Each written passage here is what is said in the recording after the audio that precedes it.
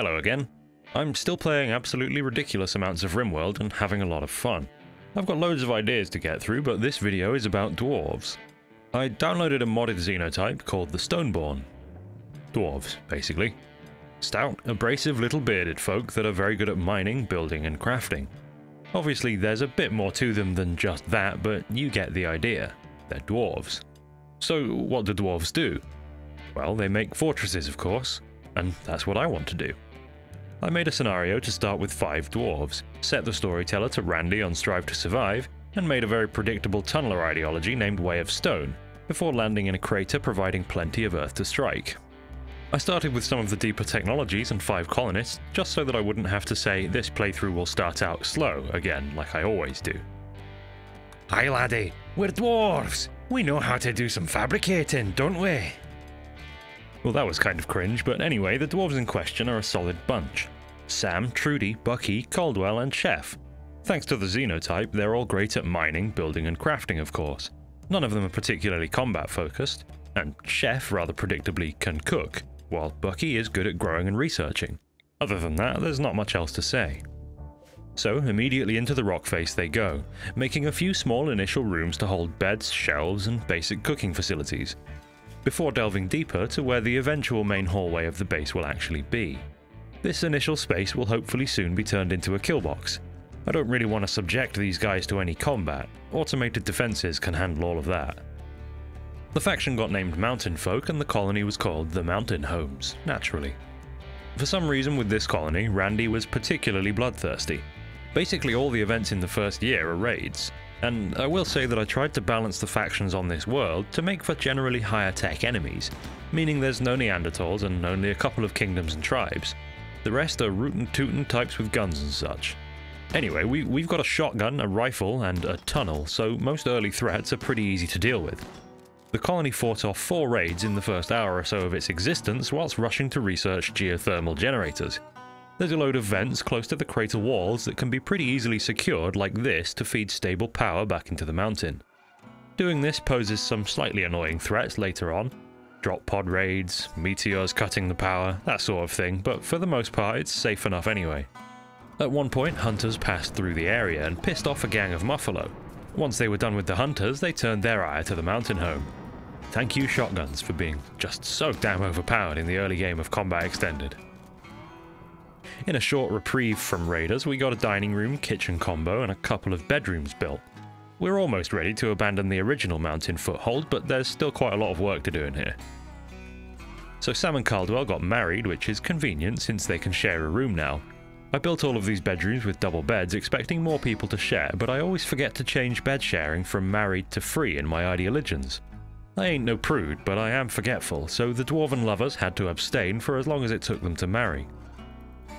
While Randy's raiders continued to rain down on the rainy colony, I accidentally let a load of Yttakin have an easy way into the base since they arrived while I was building another generator. They found their way into the workshop and tried to run off with some shinies, and they were summarily executed for their crimes. Next to have a go were some Toxfolk, and by this point Caldwell had got his hands on an assault rifle and Chef had found a spare shotgun amongst the corpses, so they too were vanquished despite Bucky taking a shotgun slug to his guts the next raid was a touch more interesting, because the raiders in their haywire drop pods were dwarves. The Xenotype mod also adds a faction of Stoneborn, which is helpful when you're looking to make a dwarven ethnostate. A prisoner called Mister was taken and very slowly converted before being recruited. As a part of the celebration for murdering so many of their own kind, Chef and Trudy got married, and Chef wasted no time and got her pregnant pretty much immediately, presumably whilst consummating the marriage. This is fine by me, the colony has plenty of food, so it shouldn't be an issue raising a wee little babby dwarf. Speaking of consummating the marriage, thanks so much to everyone that's subscribed so far, pushing the channel over 10,000 subscribers now. As the channel keeps growing, I get just a little bit more confident that I could actually do this for a living one day. So thanks, just for being interested, I guess. Anyway, back to raids. A defoliator mech cluster landed, and to be honest, I didn't really feel like dealing with it. I'd have to run across a whole load of open land to take it out, and figured I'd leave it to somebody else while I spent my time building lovely hydroponics basins in the hallways. As if to try and drive their point home, the mechanoids landed another defoliator in the crater right next to the first, which just made me even less likely to go out there. so I set up an area that just skirted the range of the turrets and restricted everybody to it for now. The first to have a go at the mechs were the piggies, who arrived intending to siege the colony but obviously wouldn't get the chance to do so. They crashed against the mechs like waves against the implacable cliffs of the coast. Mister tried to escape and took a solid bonk from Trudy's Warhammer for the troubles. See, I'm learning my lesson and not using a monosword to stop prison breaks this time. No beheadings here, just bonks. So Mister got popped back into bed just in time for a meteor to land and disrupt the colony's power.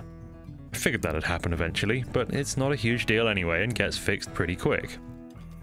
Now it's time for round 2 for the mechanoids. Royal Tribute collectors this time, and they tried their best, but all they got for their efforts was killed. Immediately after round 2 comes round 3 as usual. Toxfolk had a crack at it and found much the same result as everybody else so far. At this point I'm researching mortars so that I can deal with them myself. As fun as it is watching everybody die to them, I'd like to be able to go back outside and have traders at some point. Another siege had a go, bandits this time. Surprise, surprise, they failed. While all this was going on outside, back in the mountain we were filling out the workshop and building a basic hospital for Trudy to do the baby thing in, because here it comes now. I considered chucking it in a growth vat till it was a child, but decided against it. Bad memories of Greg, I think. Mister was convinced to join the colony. He's pretty useful. For the most part, he'll sit and craft in the workshop. Everyone is a good crafter, but most people have other largely permanent jobs to do. Sam and Caldwell are usually mining or building, when she's not giving birth, Trudy is hauling. Bucky grows the shrooms and researches the rest of the time, and, well, Chef is a chef. A drop pod raid of Tox folk landed close enough to actually reach my defences, which was a nice change, and at this point the mountain can defend itself. And then another mech cluster lands, and though this one is a bit stunted and largely harmless, it does still provide a mech to go and reload the turrets of the other clusters. I did try and use a field gun to take these clusters out, but the accuracy was just too bad. I couldn't keep making shells and throwing them away like this, so I'd just wait until I either had proper artillery or something came along and dealt with them for me. But the clusters are getting quite annoying now because I really need advanced components. And here are my knights in shining armor. Yeah, all those raids and sieges that couldn't get it done, and here's a small group of megasloths smashing the mechanoids to bits. They left a single turret that I dealt with by creeping Trudy up to it with her hammer while it was distracted shooting at Caldwell, who only took a shot or two in the process, he's fine. And at this point the map is absolutely covered in components and ship parts due to a space battle that happened earlier, so I'll be fine for regular components, it's just advanced components that I need, I can't even build the fabrication bench yet. And look who's here! Another mech cluster, with a toxic spewer this time. But I have proper artillery now, so it won't be an issue. Wait, why aren't my shells exploding? Oh god damn it, there's a high shield! Okay, fine, we'll just wait it out. In seven days, the shield will recharge. This gives me some time to start building some factory parts with the mech components from the previous clusters. Starting with a chem fuel clarifier to help clean up some of the corpses that are going to pile up in the entrance.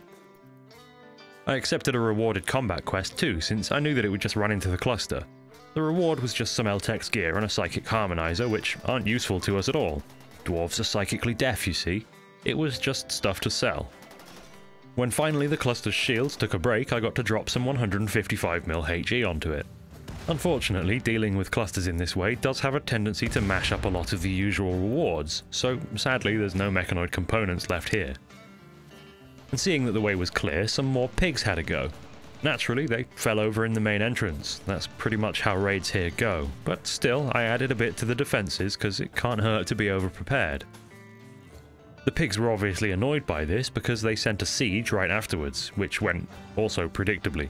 Just gotta get a 155mm shell close enough to draw them into an assault, and then gun them down. Since we had a kid now, I kind of portioned off half the hospital to use as a classroom, which seems like an odd thing to do, but uh, I mean, it is what it is, it works.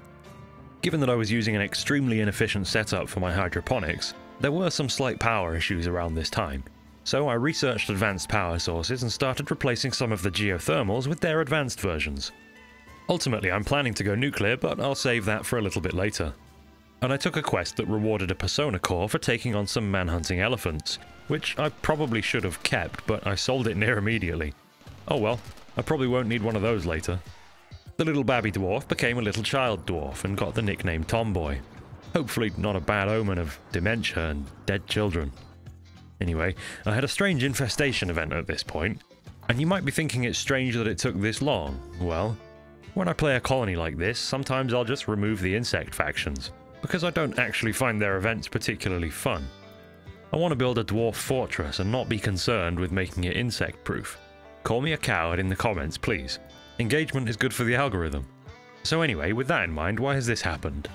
Well, I think it's because the large infestation event comes from vanilla events expanded. The insects here aren't actually hostile. They just mill around and later on I figured out that if I kill the queen, they'll just leave. It's very strange. Luring the queen out to the turrets can be a little bit dangerous, but it's usually pretty easily done. After which everybody else just politely leaves in single file. Yet another defoliator landed. I think I've had four of those by now.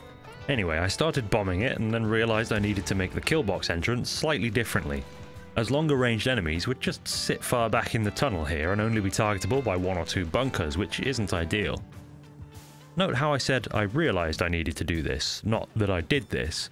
It took a really long time to actually make that change. I decided to give Bucky a break from researching and let him sit in the scanner for a while, finding some decent materials that I'd be able to mine reliably and safely. I was mainly after plasteel as I hadn't found any of it in the mountains so far and it was holding back progress a bit, since you need it to make basically all the factory stuff as well as for advanced components. Another dodgy insect event happened here with an infested module that I just kind of left alone, but later on when it took some fire accidentally nothing came of it anyway. So yeah, something to keep in mind if you play an insectless game with mods. You might get some weird stuff. I had the defences at what I figured would likely be close to their final form at this point, when a group of man-hunting rhinos came in and barged directly through a gang of refugee children like a hungry grizzly bear barrels through a herd of newborn musk oxen. After which they slid their way through the entry maze and got gunned down. A couple more raids came as well, Randy was just really bloodthirsty with this colony for some reason. Nothing but raids and mech clusters this whole game so far. But anyway, yeah, these kingdom people showed up and had a go, which didn't go well, as you can hopefully imagine by now. And at this point, we're closing in on 200 days since landing. And this is when I had the incredible idea that maybe when the colony does reach 200 days, I could switch the storyteller to Winston Wave and see how far the dwarf fortress can make it. Because yeah, that seems like a great idea. I can even already see the video title. Building a fortress to survive Winston Wave in 200 days in RimWorld Biotech with Combat Extended, because you've got to hit those keywords. But for numerous reasons, it was actually a terrible idea. Ever since my original Waves video, I've really wanted to revisit Winston with a more overpowered setup to see how far it can really go. The problem is, it turns out that not very long after the wave I got to back in that video, which was 25, the game kind of reaches its limit when it comes to computation. Pretty much every raid is a 3 FPS slogfest and the time between them is spent trying to clean all the corpses and stuff up to maintain a frame rate above 30. Every in-game day takes far longer than it should and it's just not very fun. So yeah, anyway, it's not day 200 yet, so for now, the dwarves celebrated with their ritual of burial, which sounds like a funeral but isn't. And for their jubilation, they're rewarded with Patel, another kind of just general dwarf who'll just end up helping out with a bit of everything like pretty much everybody else in this colony.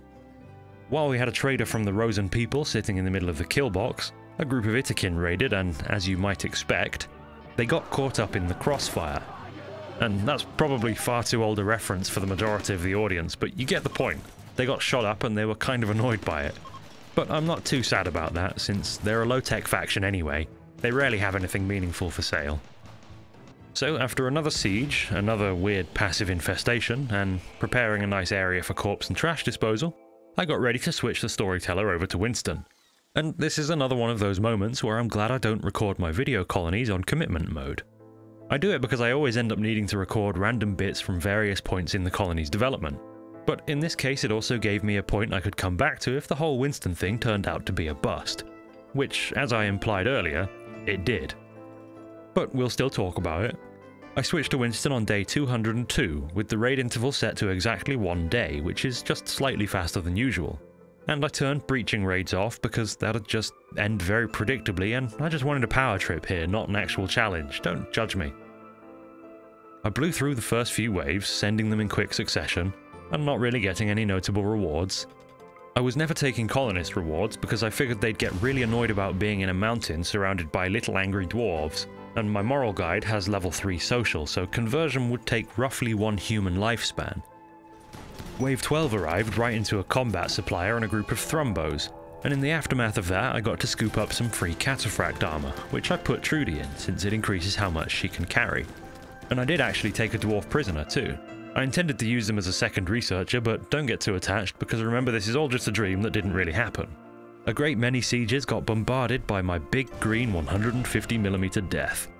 During Wave 18, there was a constant orbital bombardment which destroyed a load of my generators, but thankfully I had just made this thing beforehand, which could supply more than enough power for the colony all by itself.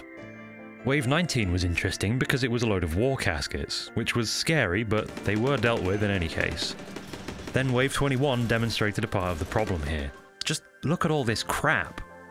After trying to figure out a reasonable way to deal with all of this, I just resorted to clearing most of it up with dev mode, which felt really dumb. Now here's this. Something is breaking all these raiders. They're just standing around and the game is running at, well, anywhere between 10 and 20 FPS, but the TPS is even lower, which is very unusual. Eventually, Chef landed a shell in the crowd, but it had no effect. So I just reloaded the last autosave and that sorted them out, and here they come. But at this point I was beginning to realize this wasn't going to work. And even if I did persevere, is it really a compelling video? Regardless, for some reason I actually did struggle through until wave 35, by which point the map looked like this, thanks to a glitched endless meteor shower. Ah! Oh, phew, it was just a dream. It's day 206 and the storyteller is Randy set to blood and dust. That nuclear reactor sure was a good idea though, so let's set that up. Now, if we're not doing Winston Wave anymore, how are we going to end this? Well, You'll have to wait and see in part 2 of this story. Make sure you're subscribed and hit that bell with a 155mm HE shell so you don't miss it. Yeah, sorry. I'd have rather kept this to a single video, but with the whole waves thing it made more sense to do it this way. I'm sure some of you actually prefer multi-part series, but I'd rather not make a habit of it. Before I close out, I actually made a Patreon. I don't want to make a big deal or shout about it in the middle of videos, and I never intend to do any patron callouts or anything annoying like that. But for some reason, when somebody asked me if I'd ever do a Patreon, I replied maybe at 10k. And here we are, so here I am. Like I said earlier when I was talking about dwarf sex, it feels like if I keep this up I could actually do it full time and quit my job. So this is just a way for you to help me to that goal if you're able and willing. I'll probably just drop a bi-weekly post there for patrons about what I'm up to and have a little section of the Discord. Nothing super interesting, just the bare minimum. I expect nothing from you, but will accept almost anything you'll give. In any case, remain indoors. Sometimes the outside looks like this, which sucks. As always, thanks for watching, and until next time, goodbye.